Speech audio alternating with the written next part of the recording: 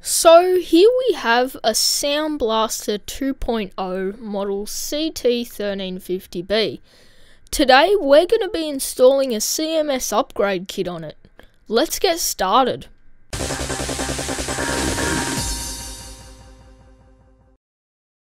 A little while ago I picked up this Sound Blaster 2.0 in a lot of other computer parts. Now, the card itself works fine, and I've actually got plans to use it in another build. But there's one critical thing which makes this card rather unique, which I want to utilise. These three unpopulated sockets here actually give it CMS compatibility if populated with the correct chips. Now, what CMS is, is basically another weird early music standard for video games and it basically sounds really different to the OPL2 which this card has. So it's a nice feature to have since you can't really get it on that many Sound Blaster cards without emulation. And this isn't emulating it. This is actually using the real chips in the actual sockets to produce the actual sound which is really neat.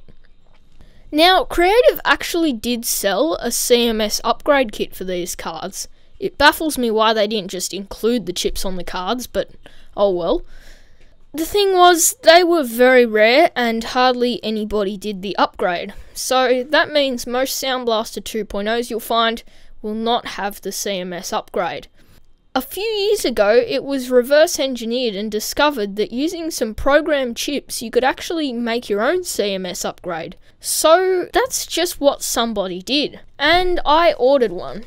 Here we have an aftermarket CMS upgrade kit for the Sound Blaster 2.0. I purchased this online and they sold out pretty much straight after, so I'm really glad I managed to get one. But yeah, this basically gives you the three chips to populate the sockets here, so you can give your Sound Blaster 2.0 CMS capabilities.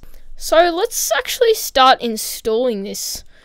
Um, so if we go ahead and take the tape off of this, and we open up the anti-static bag and I must say this is very well packaged. We can see that we get the three chips. So going over the chips quickly as we can see at the bottom we have a GAL chip. Now this has apparently been pre-programmed already with what the Sound Blaster needs so we won't have to do any programming and then we have the two chips which are actually responsible for producing the sound on this card. And these basically generate a certain wave type and it sounds really interesting. So yeah, it's a pretty primitive upgrade, but it actually works really well. Now, let's get to actually installing these. As you can see on the chips here, they have little notches in one side. Now that notch is pretty critical because it's actually the orientation in which the chips go. So we need to make sure that they're lined up correctly as so. Now looking on the card here, as you can see the sockets, they actually have a similar notch taken out on that side. So that tells us that all the chips need to go in basically this orientation. So how about we actually start to go ahead and install these chips now. This is rather simple. You just simply take them out of the ESD foam, and I'll do this one at a time here. Now we need to find the card and make sure it goes in the correct orientation. So in this case, it needs to be pointing that way because that's where the end of the thing is. And there we go. Now we've got the programmed GAL chip installed. So that's the first piece of the puzzle completed we've only got these two little chips left, so we'll do them one at a time here. And we just got to line it up. And we just simply push the chip down into the socket.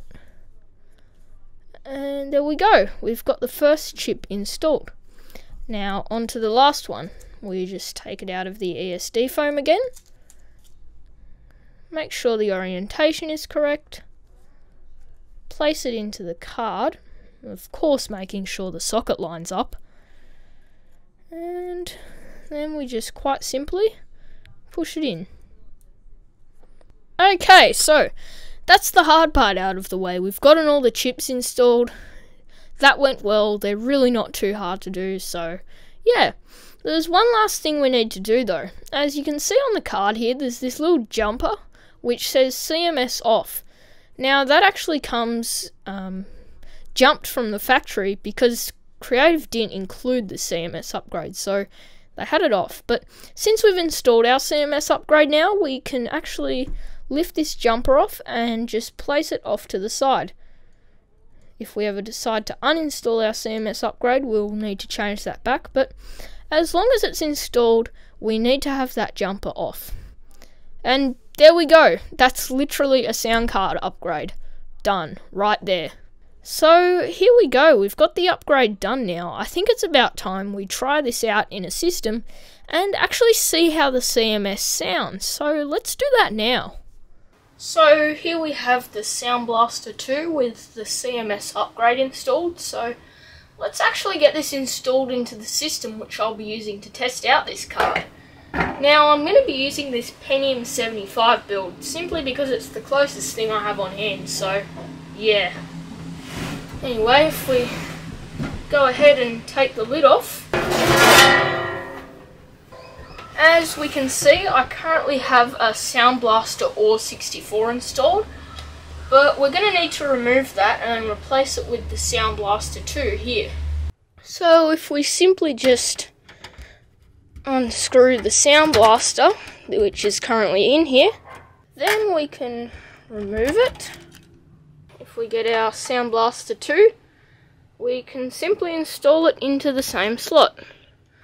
So that works out really nicely. That just goes in there. Then we just need to reinstall the screw. And yeah, there we go. There's our Sound Blaster 2 installed. So let's try it out in some DOS games now. CMS was really obscure, so not a lot of games supported it, but one of the most notable and best sounding ones is probably Monkey Island, so let's have a listen to what it sounds like with CMS.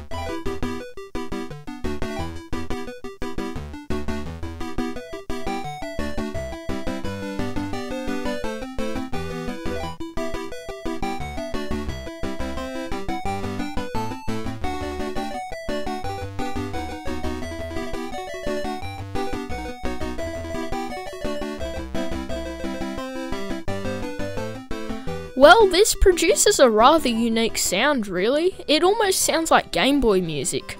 The OPL definitely was a big step up from CMS, but this was a big step up from the PC speaker too, so it's really interesting to see this kind of in between for sound cards. I wouldn't necessarily like to play Monkey Island with CMS rather than OPL, but still, it's a really nice thing to have the compatibility. Now, that's the other thing. CMS, it's hardly supported by any games. So, Monkey Island's the only one I'll be demonstrating today. But yeah, it's still nice to be able to hear the difference. Well, that's about it for today's video. We performed a CMS upgrade on this Sound Blaster 2.0, then tried out some Monkey Island. Overall, the CMS is really interesting, though I'm glad it's been left in the past. That's about it from me. Thanks for watching, and I'll see you next time.